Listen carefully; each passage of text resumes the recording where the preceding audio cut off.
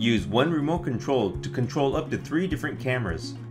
Use the left, right, up, and down arrows to control your camera direction.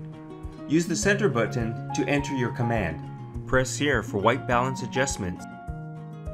Use the backlight compensation to brighten your image. This will adjust your exposure to brighten or darken your image. Use this button to return to your designated preset home viewing area. Click here to turn on and off your camera tracking.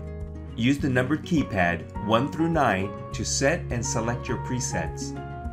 Press this button to recall your selected preset number. Remember to press this button each time to recall your designated preset. This concludes the TR530 remote control overview. Thank you.